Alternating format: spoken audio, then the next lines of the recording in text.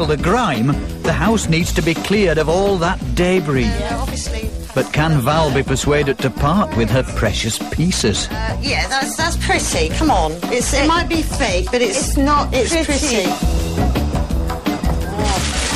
Yeah, bin, bin. Looks like this little tug of war could take some time. And what about this? Can that go to charity shop? Oh, I like that. It's nice. Well, she's she's nice.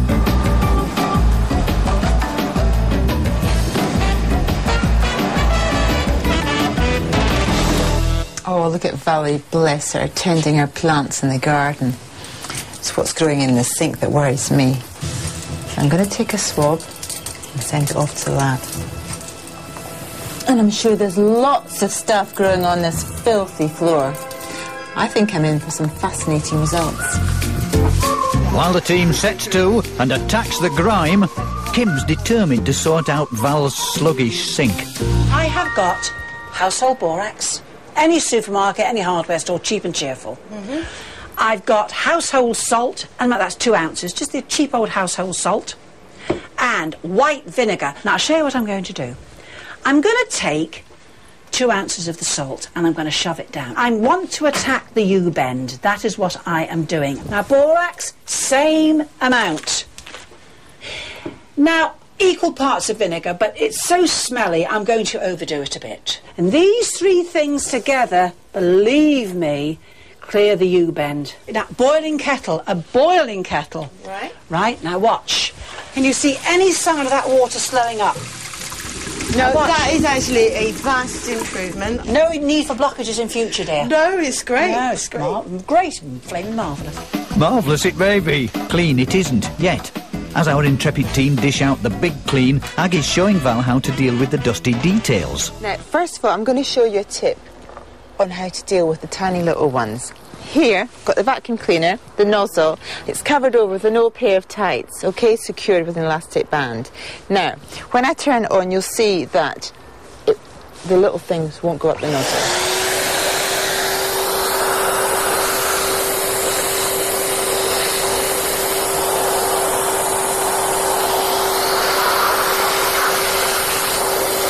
Take the dust off. There you are. That's quite a good tip, isn't it? It's great. Do you wear contact lenses? I do. If you ever drop one on the floor and you can't find it, Oh, what a good idea. fantastic. I've actually, I've actually lost one in the car. Right, well, go over Yes, the will. car floor with this and you'll see it come up on the oh, good surface. Yeah? While the cleaners scrub the walls back to their former glory, Aggie's got a test which might shock Val into keeping them that way. This little device tests the levels of carbon monoxide in the room. Now, in here, the level is racing up and up, and it's just gone over a dangerous level of 30, and it's now reached 43 parts per million. That's just like sitting behind a car exhaust. If that's not a wake up call for Val, this might be. Look at the tar on the ceiling. Okay, that's inside your lungs, by the way. Mm. And when Kim and Aggie return two years on, will Valerie come up smelling of roses? Or something else?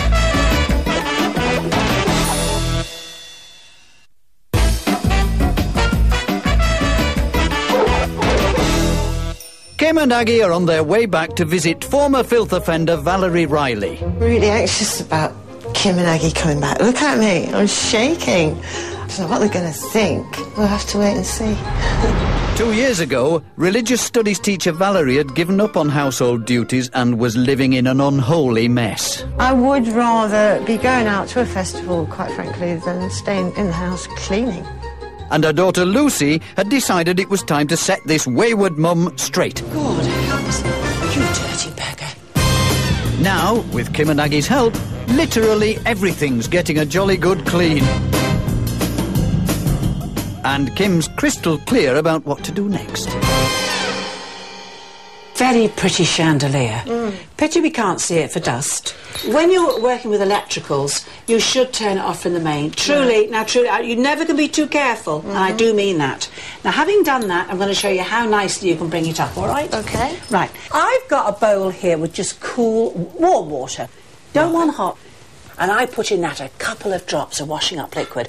I've wrung that out, and all you do You come down one and you couple gently, gently the whole thing. Good God, these are absolutely black. God help us, my love. Mm. Right, now, in this bowl, I put a teaspoon of ammonia. Did you know that ammonia in warm water will make glass shine beautifully? Now you see, there's ex- they are extra shining. They are. Can you see this? I can there see the is- difference. Yes. And I think, my dear, Oh wow, I need my sunglasses. it is absolutely beautiful. With the battle against filth nearly won, Aggie wants to ensure that Valerie's learned her lesson. The results are back from the lab. Okay, you ready for this? The friendly bacteria. Well, they can be in small doses because mm. there's bacteria everywhere. It's when they get out of hand. Right. And it has got out of hand in your house. Mm-hmm. Okay, we've got high levels of salmonella all around the place. Okay, that will give you serious tummy infections. Now, in this other plate here, I have E. coli and Klebsiella and Salmonella. Okay, now E. coli is currently the main culprit behind urinary tract infections. Okay, closely followed by Klebsiella, some strains of which are now becoming resistant to antibiotics. Listening? I'm listening. Hmm. All right. So, do you think that will inspire you to clean up? Yeah, yeah.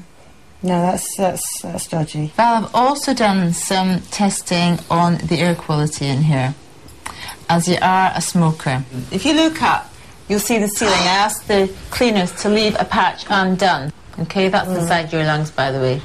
The levels of carbon monoxide in this room were way off the scale. Yeah, I mean, I am trying to stop altogether, and uh, that's quite shocking. Really. You're not going to leave that square then, are you? No, because you're going to clean it All off. right, you show me how to do it. Yeah, it's just a wee bit. There's not much to do. As Val's place gets the final spit and polish, it's time for those important finishing touches.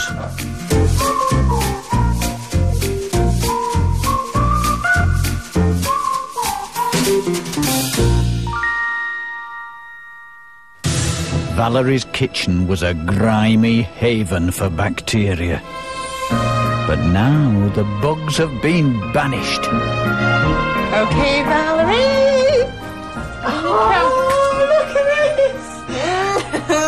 That is oh, so much better.